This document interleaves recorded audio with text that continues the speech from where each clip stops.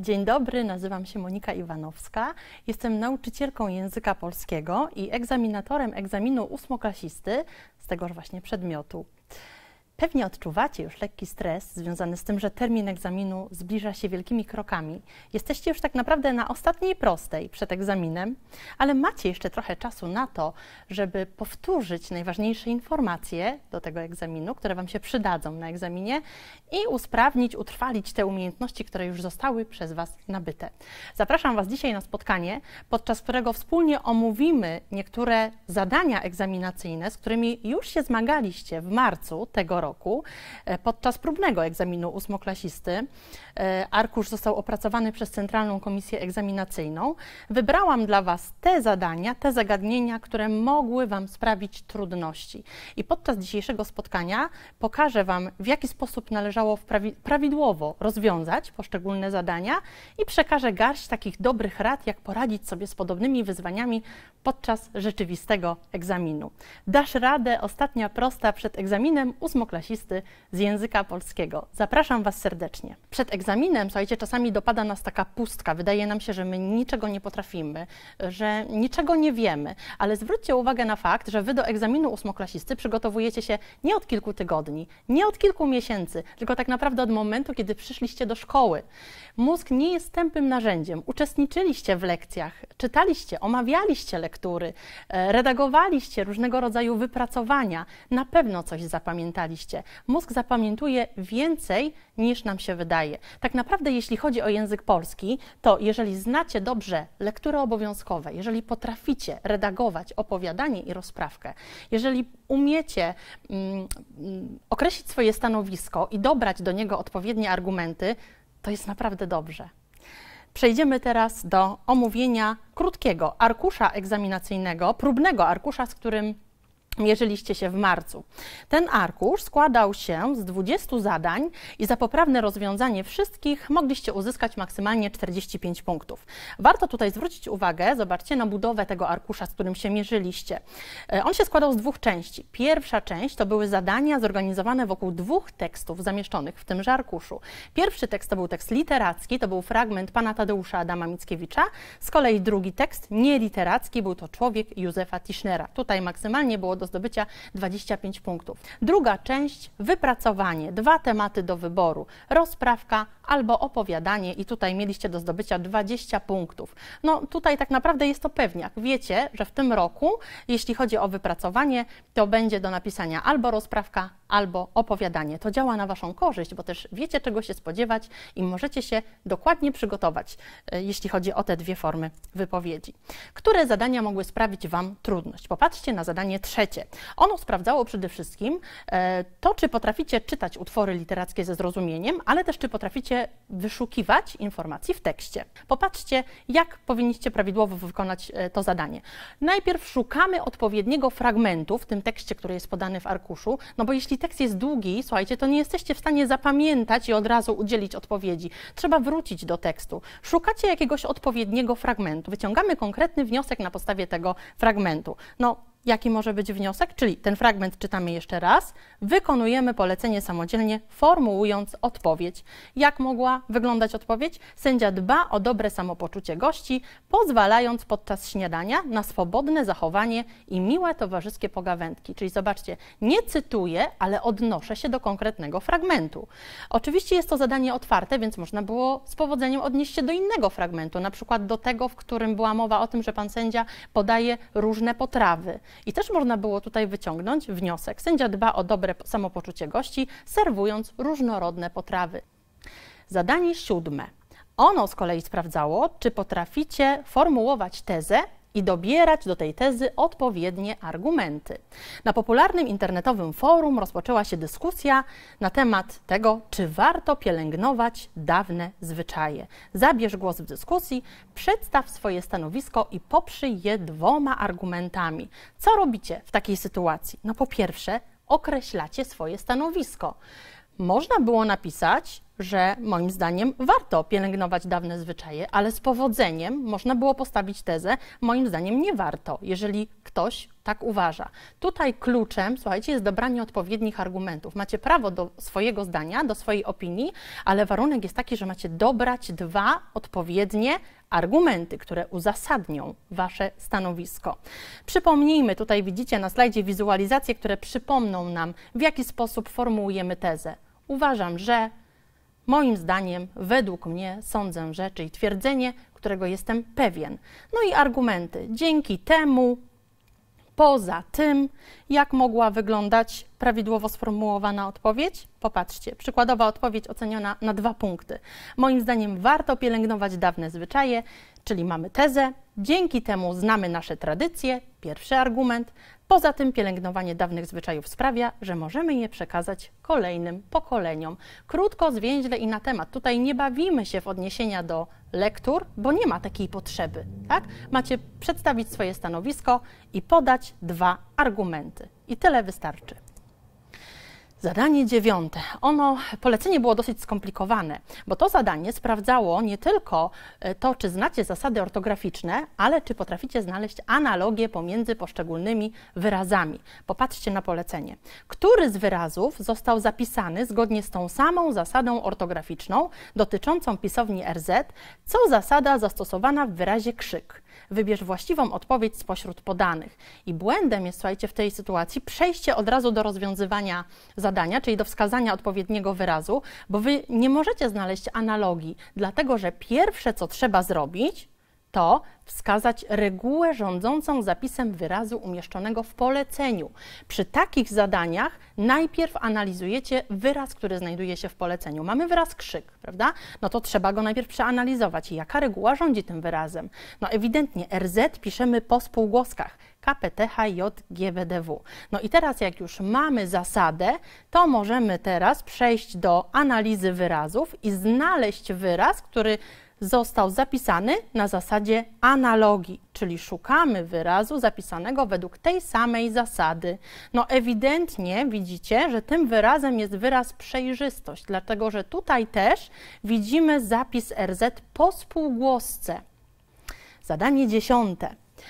Ono sprawdzało Waszą znajomość lektur obowiązkowych, ale też umiejętność odczytywania materiału ikonograficznego. Polecenie brzmiało tak. Obejrzyj zamieszczone poniżej okładki wybranych lektur obowiązkowych, wybierz dwie okładki i uzasadnij związek zamieszczonego na niej, na każdej z nich elementu graficznego z treścią każdej z wybranych lektur. Tutaj uczulam Was na dokładne czytanie poleceń, dlatego że zdarzali się uczniowie, którzy wybierali sobie jedną okładkę i z tej okładki dwa elementy graficzne. No i klops, bo polecenie jest jednoznaczne, wskazuje jednoznacznie, wybierz dwie okładki, więc zacznijcie od dokładnej analizy polecenia. Co później? No wybieracie dwie okładki, sugerując się najlepiej tymi utworami, które znacie dobrze. Wskazujecie elementy graficzne na wybranych okładkach po jednym elemencie graficznym i uzasadniacie wybór, odwołując się do treści lektury. Tutaj liczą się konkretne informacje. Zaraz wyjaśnię, o co tutaj chodzi. Ja moim uczniom z kolei tłumaczę, że to zadanie najlepiej wykonać w ten sposób. Najpierw odpowiadacie sobie na pytanie, co widzę, patrząc na daną okładkę. Popatrzcie na okładkę numer jeden. Co widzę? Widzę latarnię, tak? Czyli mamy element graficzny. I jaki to ma związek z treścią tego utworu? No, pracował tam tytułowy bohater noweli, e, czyli Skawiński, prawda? Uczulam Was też na to, abyście przypadku te, y, tego typu zadań udzielali konkretnych informacji. Co to znaczy? Wy macie się wykazać znajomością y, treści konkretnej lektury. Wasza wypowiedź nie może budzić wątpliwości, czy wy, przy, czy wy na pewno znacie treść tego tekstu. Jeżeli napisalibyście na przykład latarnia, mieszkał tam latarnik, to odpowiedź jest bardzo oczywista i zbyt ogólna. Egzaminator miałby wątpliwości, czy na pewno y, ten uczeń zna treść lektury, skoro nie odwołuje się do żadnych żadnej postaci, do żadnego bohatera, ani do żadnej sytuacji. Podobnie w przypadku okładki czwartej, na przykład, gdzie mamy zemstę. Dwa serca, bohaterowie byli zakochani. Albo w przypadku okładki piątej, e, krew i nóż, bohaterka mm, zabijała. To są zbyt ogólne informacje, zbyt oczywiste i e, one budzą wątpliwości, czy dobrze znacie treść danej lektury, dlatego że nie odwołujecie się do konkretów. Tu trzeba podać konkrety, tak? Czyli w przypadku na przykład zemsty, czyli tej okładki czwartej, dwa serca, jest to symbol miłości między Klarą a Wacławem, prawda? Podaje konkretne postaci, odwołuje się do konkretnych bohaterów. W przypadku zemsty mogliście zwrócić też uwagę na przykład na armaty e, i potraktować to bardzo e, metaforycznie, no bo przecież o armatach nie ma mowy w zemście, ale mogą być one symbolem konfliktu między głównymi bohaterami, Cześnikiem Raptusiewiczem, a Rejentem Milczkiem. Więc zobaczcie, te wasze odpowiedzi wcale nie muszą być takie oczywiste. One mogą się odnosić do sensów symbolicznych, sensów metaforycznych, ale ważne, żeby jasno wasza wypowiedź wskazywała, że wy znacie treść danej lektury. Przykładowa odpowiedź oceniona na dwa punkty, bo tutaj można było uzyskać dwa punkty. Wybieram okładkę numer dwa. Wróćmy do, tej, do tych okładek, żebyście zobaczyli. No chodziło o dziady ewidentnie. No i co tutaj ten ktoś napisał? Dziewczyna, którą widać na tej okładce, to duch Zosi, która pojawia się podczas obrzędu dziadów. Zobaczcie, mamy odniesienie do konkretnej postaci, do konkretnej sytuacji, więc nie ma wątpliwości. Uczeń ewidentnie zna treść lektury potrafi zinterpretować element graficzny. Wybieram okładkę numer 5, wróćmy do niej. Mamy tutaj balladynę. No i teraz zobaczcie. Dzban jest odniesieniem do dzbanów malin, które siostry Alina i Balladyna miały przynieść z lasu. Zobaczcie, znów odpowiedź konkretnie wskazuje na postaci, na konkretną sytuację. Tak? Więc pamiętajcie o tego typu, że w tego typu odpowiedziach liczą się konkrety. Zadanie jedenaste bardzo nielubiane przez moich uczniów, myślę, że przez wielu uczniów, przez wielu ósmoklasistów. Uzupełnij poniższy tekst w taki sposób, aby stanowił streszczenie tekstu Człowiek Józefa Tischnera. To było zadanie odnoszące się do tego drugiego tekstu, nieliterackiego, który pojawił się w arkuszu. No i o co tutaj chodzi? Macie dokonać streszczenia, uzupełniając te trzy e, trzy luki, tak? Czyli macie tak naprawdę dokończyć trzy zdania, które są streszczeniem tego tekstu. Jak prawidłowo wykonać to zadanie? Tutaj taka podpowiedź dla Was. Zobaczcie, znajdź słowo klucz. Czytając tekst, zwróćcie uwagę na to, jakie słowo najczęściej pojawia się w tym tekście. Albo inaczej, gdybym ja czasami moim uczniom zadaję takie pytanie: gdybym prosiła Was, żebyście mi jednym słowem streścili ten tekst, który przeczytaliście, to jakie by to było słowo? I to znalezione słowo, wskazane przez uczniów, to jest słowo klucz. Takie słowo, które jest najistotniejsze, które jest istotą tego tekstu. I jak już macie słowo klucz, to słuchajcie, jesteście w domu, to już macie praktycznie wszystko rozwiązane, tylko trzeba teraz co zrobić? W pierwszym zdaniu trzeba wpleść jakoś odpowiednio to słowo klucz, do, e, żeby stworzyć informację. Tematem tekstu Józefa Tischnera jest no i zobaczcie, jak można tutaj z tego wybrnąć. Zagadnienie dotyczące istoty człowieczeństwa, bo rzeczywiście w tym tekście, który czytaliście, takim słowem kluczem było słowo albo człowiek, albo człowieczeństwo. No to jak już mam słowo klucz, to zobaczcie, wplatam je odpowiednio, żeby stworzyć konkretną informację. Tematem tekstu Józefa Tischnera jest zagadnienie dotyczące istoty człowieczeństwa. Autor zauważa, że Drugie zdanie, dalej jesteście, słuchajcie, myślą przy słowie kluczu, czyli co autor mówi na temat tego słowa klucza, co zostało powiedziane na ten temat w tekście. Czyli autor zauważa, że ten w pełni jest człowiekiem, kto przy podejmowaniu wyzwań nie jest pozbawiony nadziei. Albo inaczej, autor zauważa, że e, człowiek, który ma nadzieję, podejmuje w życiu różne wyzwania w taki prostszy sposób. I ostatnie zdanie, na końcu dochodzi do wniosku, że, czyli do jakich wniosków, do jakich refleksji, nadal związanych z tym słowem kluczem, skłania ten utwór mm, ten tekst. Możecie się tutaj na końcu, w tym ostatnim zdaniu, zasugerować nawet tym, co napisaliście na początku. Popatrzcie na pierwsze i drugie zdanie, a to trzecie jest jakby wnioskiem wynikającym z tych dwóch pierwszych które zapisaliście. Więc popatrzcie, popatrzcie, kluczem jest tutaj słowo klucz. Też zwróćcie uwagę na tytuł e, tekstu, bo on bardzo często, no nie zawsze oczywiście, ale bardzo często sugeruje, co będzie prawdopodobnie tym słowem kluczem. Popatrzcie, tutaj mieliśmy tytuł człowiek, więc jakby tytuł też sugerował, e, czego możemy się spodziewać, co prawdopodobnie będzie tym słowem kluczem. Pamiętajcie tutaj tę dobrą radę na temat słowa klucza, bo myślę, że To jest kluczowe do rozwiązania tego zadania. Zadanie dwunaste, również nielubiane przez uczniów, ponieważ ono jest krótkie, to jest zadanie zamknięte, ale wymaga tak naprawdę podjęcia wielu różnych działań. Na które z pytań można znaleźć odpowiedź w piątym akapicie tekstu Józefa Tischnera? Wybierz właściwą odpowiedź spośród podanych. No i słuchajcie, jak mamy takie zadanie, to co trzeba zrobić? No przede wszystkim, pierwsze co trzeba zrobić, to wrócić do tego akapitu. Widzicie go tutaj na slajdzie, umieściłam go dla Was. Przeczytaj uważnie wskazany w poleceniu akapit podkreśl najważniejsze informacje w nim zawarte, czyli znowu słowa klucze. Klucze tak naprawdę, zobaczcie, przeglądam sobie jeszcze raz ten piąty akapit, podkreślam takie słowa, które mi się rzucają w oczy. Nadzieja popycha naszą wolę do próby, pobudza do tego, byśmy nie przegrywali. Im większa próba, tym mocniejsza nadzieja, czyli ogólnie cały ten akapit dotyczy nadziei, prawda? I teraz streszczam sobie w głowie albo gdzieś na marginesie jednym zdaniem, hasłem, ten akapit, czyli takie zdanie, takie hasło, które informuje o jego zawartości. No o czym jest ten akapit? O tym, że nadzieja motywuje do działania, prawda? Czyli zobaczcie, czytam słowa klucze, tworzę sobie hasło i dopiero teraz wracam do zadania. No i popatrzcie, mamy trzy, cztery pytania, które z tych pytań pasuje do mojego hasła, czyli ustalam, na które z podanych pytań odpowiada sformułowane przeze mnie hasło. Kogo poszukiwał starożytny filozof? No nic tu o filozofii nie było. Dlaczego starożytny filozof nie znalazł człowieka? No też nic nie było o tym.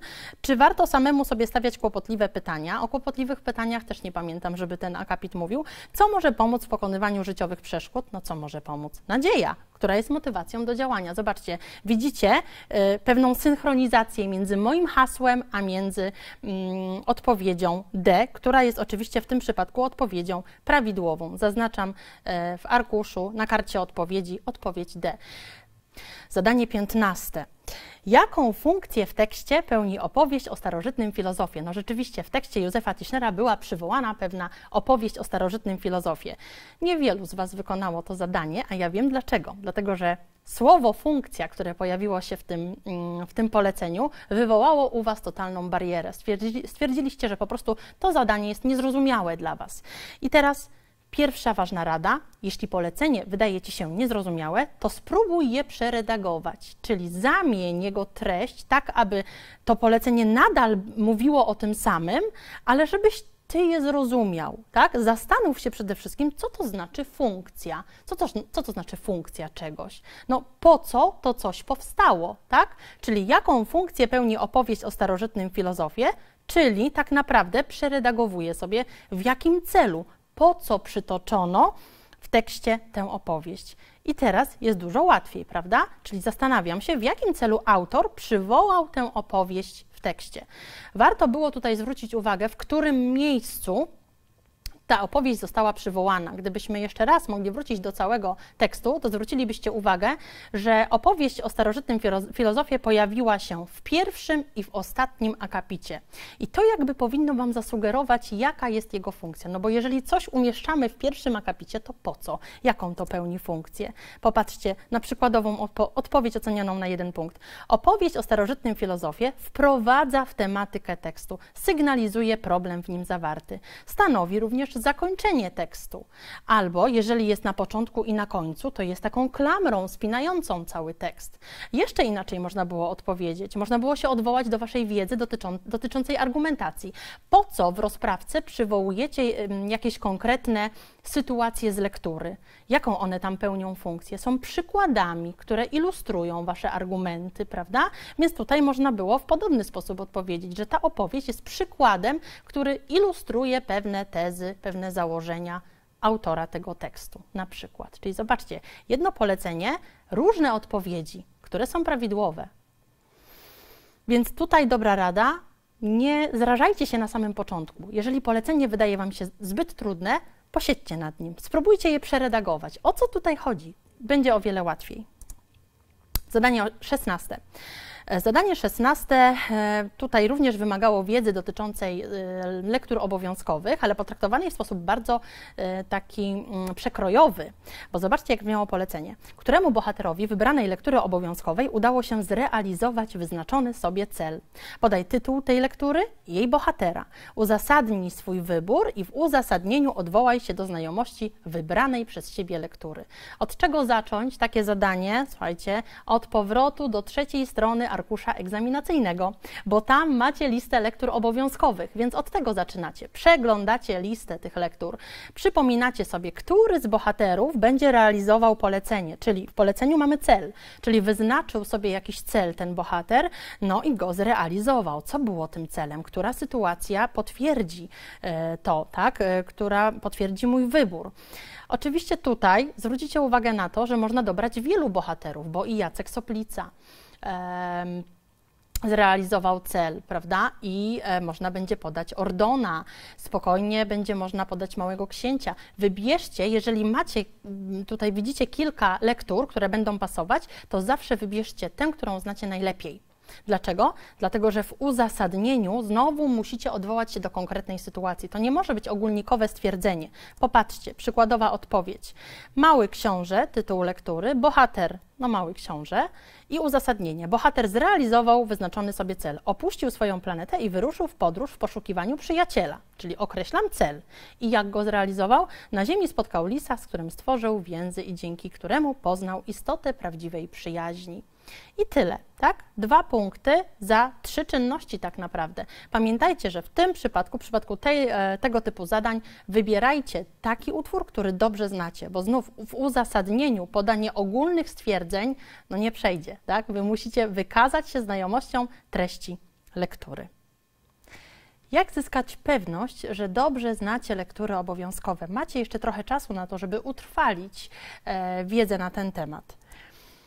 Po pierwsze, przejrzyjcie listę lektur obowiązkowych. Zastanówcie się, które z nich wymagają utrwalenia. Wróćcie do listy lektur obowiązkowych i e, dokonajcie takiego rachunku sumienia, które lektury wymagają jeszcze utrwalenia, czyli które jeszcze muszę powtórzyć. I nie mam tutaj na myśli tego, że macie czytać te lektury od nowa, ale przypomnieć sobie najważniejsze kwestie. Być może niektóre omawiane były jakiś czas temu, ta pamięć na ich temat y, zatarła się. Warto tutaj znać wszystkie teksty obowiązkowe, żeby nie spotkały Was nieprzyjemne niespodzianki.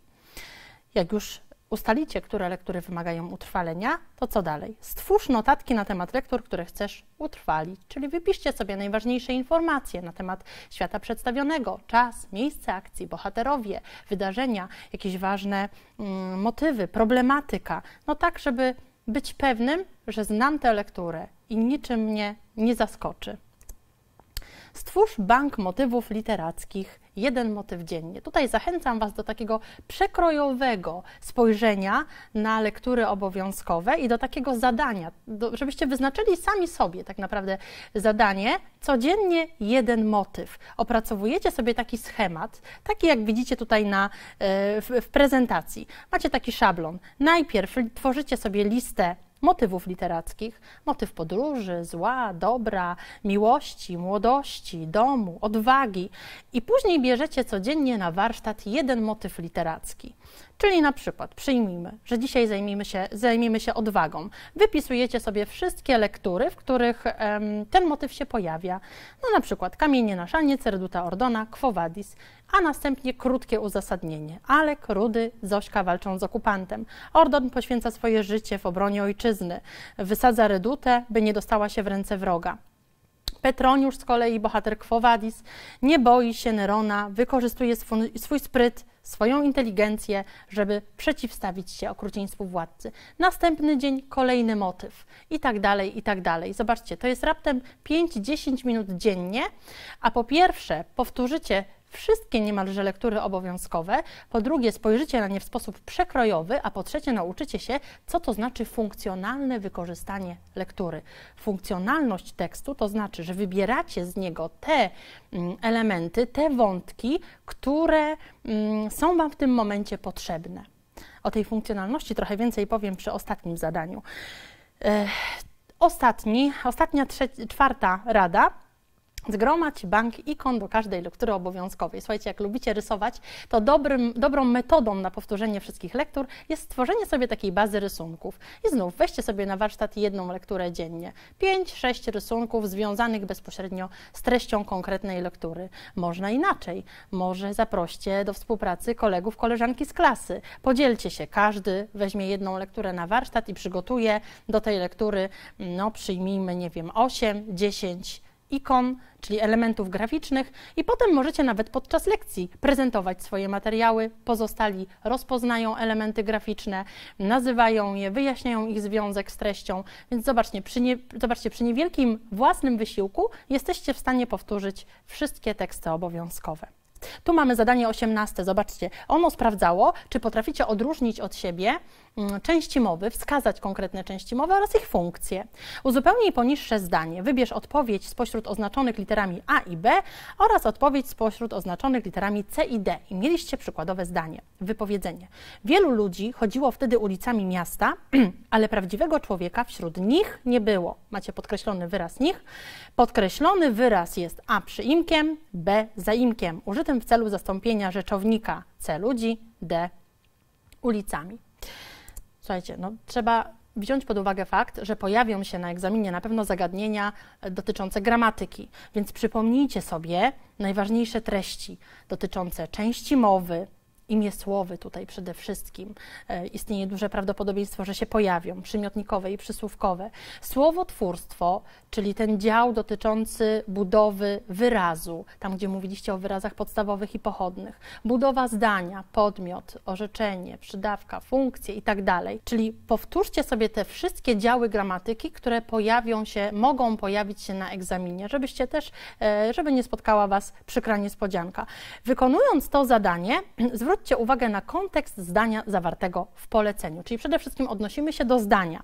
Ja tutaj jeszcze, zobaczcie, przygotowałam dla Was takie przykładowe, graficzne notatki e, i zachęcam Was do właśnie do tego typu, mm, do tworzenia tego typu notatek. One nie wymagają jakichś wielkich umiejętności, ale zobaczcie, w taki przejrzysty, przejrzysty i jasny, jasny sposób pokazują różne części mowy, prawda? Odwzorowują te wizualizacje, odwzorowują ich funkcje. No i teraz jak wykonać to zadanie. Słuchajcie, no zaimek i przyimek to są dwie części mowy e, bardzo często mylone przez uczniów, z tego względu, że one brzmią podobnie. Zaimek, przyimek. Tutaj też uczulam Was na to, żebyście nie wykuwali na pamięć tych zagadnień dotyczą, dotyczących gramatyki, tylko jak najbardziej starali się zrozumieć, o co chodzi. Tutaj możemy się sugerować samą nazwą. Słuchajcie, przyimek i zaimek. Wiecie skąd nazwa tych dwóch części mowy? Ano stąd, że kiedyś imię oznaczało rzeczownik. I przyimek to taka część mowy, która jest przy imieniu, czyli przy rzeczowniku.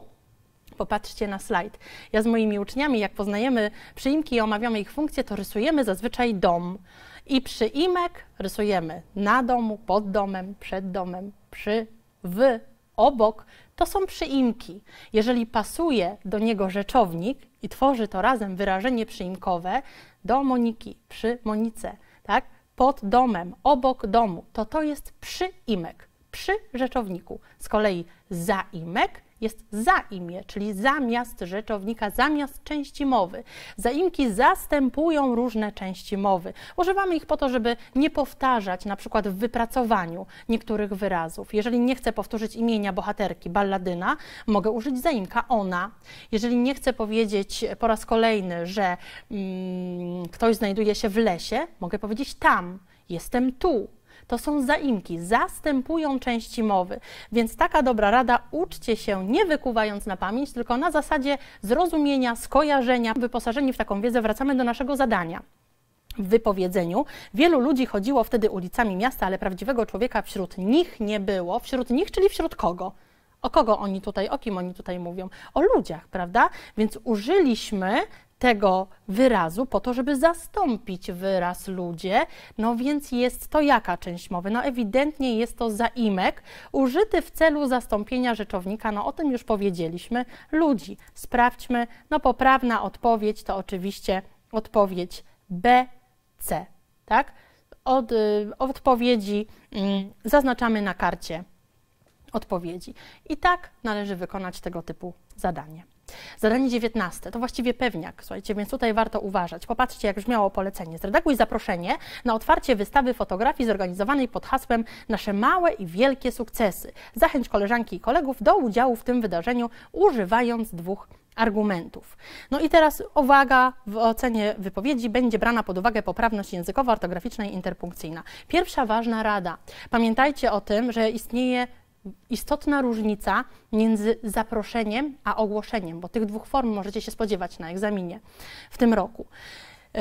Jak zwrócić uwagę na wyeksponowanie poszczególnych elementów zaproszenia i ogłoszenia? Nie możecie sobie traktować zamiennie tych dwóch form, choć one są bardzo podobne w zaproszeniu no, powinno się pojawić słowo zapraszam, czego nie powinno być w ogłoszeniu. Popatrzcie, przygotowałam dla Was takie przykładowe wstępy. Jak zacząć zaproszenie? Serdecznie zapraszam, mamy zaszczyt zaprosić, z wielką przyjemnością chcielibyśmy zaprosić.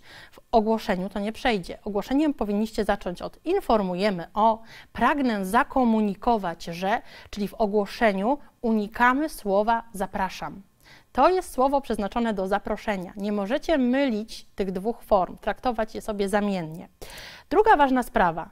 Kieruj się zasadą pięciu palców. Słuchajcie, i zaproszenie, i ogłoszenie ma pięć, mają pięć stałych elementów. Kto zaprasza, kogo zaprasza, na co, gdzie, kiedy. To samo w przypadku ogłoszenia. Kto ogłasza, komu ogłasza, o czym, gdzie, kiedy. Więc pamiętajcie o tej zasadzie, zapamiętajcie sobie, że macie taką właściwie ściągę na egzaminie, prawda? Waszą rękę, która, dzięki której możecie sami zweryfikować, czy na pewno wszystkie elementy są zawarte, czy te stałe elementy są, bo brak chociaż jednego e, skutkuje zabraniem punktów, tak? Więc warto o tym pamiętać. Nawet możecie gdzieś e, w brudnopisie wypisać sobie te pytania i potem, jak już napiszecie zaproszenie czy ogłoszenie, to sprawdzić, czy na pewno wszystkie elementy ująłem, ujęłam w mojej pracy. No oczywiście muszą być dwa argumenty i w zaproszeniu i ogłoszeniu i to jest, słuchajcie, to jest taki, takie must have, tak? Musicie, bo inaczej stracicie punkty. Te argumenty powinny być dostosowane do sytuacji, no bo nieco inne argumenty dobierzemy do wystawy fotografii, nieco inne do przedstawienia, do spektaklu teatralnego, a nieco inne do spotkania z jakąś ważną osobistością. Ale prawda jest taka, że każdy dobrze, y, logiczny argument, dobrze dobrany będzie mm, tutaj uwzględniony przez egzaminatora przygotowałam dla Was kilka takich e, wprowadzeń, tak? takich e, elementów, które pozwolą Wam wprowadzić argumenty. Zobaczcie, udział w spektaklu pozwoli Wam i wprowadzamy argument. Każdy uczestnik będzie mógł coś tam zyskać. Warto przyjść, wziąć udział, ponieważ coś ciekawego się wydarzy, coś zyskamy dzięki temu. Można będzie zdobyć, obejrzeć, kupić, otrzymać. Organizatorzy przewidzieli. Ostatnie zadanie. Dziękuję, że wytrwaliście. Jeszcze jedno zadanie, bardzo ważne i to też jest właściwie pewniak, prawda? Zadanie 20. Zobaczcie, jak wyglądało na próbnym egzaminie. Wybierz jeden z tematów i napisz wypracowanie. Pamiętaj o zachowaniu formy wypowiedzi wskazanej w temacie, napisz rozprawkę albo opowiadanie. W wypracowaniu odwołaj się do wybranej lektury obowiązkowej. Lista lektur obowiązkowych znajduje się na trzeciej stronie arkusza egzaminacyjnego. Twoja praca powinna liczyć co najmniej 200 wyrazów. Zapisz wypracowanie w wyznaczonym miejscu, nie pisz na marginesie. No i były dwa tematy. Pierwszy, w każdym jest coś, co zasługuje na podziw innych. Napisz rozprawkę, w której rozważysz trafność tego stwierdzenia. W argumentacji odwołaj się do wybranej lektury obowiązkowej oraz innego utworu literackiego. Tutaj rozwiewam Wasze wątpliwości. Inny utwór literacki to też może być lektura obowiązkowa. Spokojnie. Tu chodzi o to, że nie musicie w tym drugim argumencie, możecie się odwołać do innego tekstu literackiego. Nie musi to być lektura obowiązkowa, ale może. I temat drugi Napisz opowiadanie o spotkaniu z bohaterem wybranej lektury obowiązkowej, który przekonał Cię podczas spotkania, że w życiu warto podejmować ryzyko.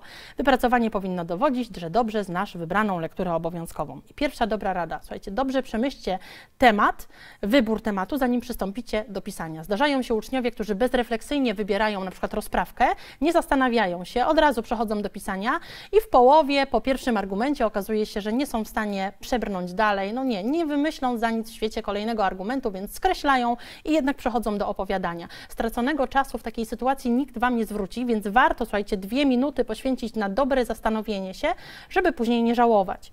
Przeczytaj uważnie polecenie. Możecie w poleceniu znów podkreślić sobie takie słowa klucze, ja ciągle o tym mówię, czyli takie zagadnienia, o których musicie pamiętać w swoim wypracowaniu. No w przypadku rozprawki, co byłoby słowem kluczem? No coś, co zasługuje na podziw innych, to muszę udowodnić, tak? Czy moim zdaniem jest, w każdym jest coś.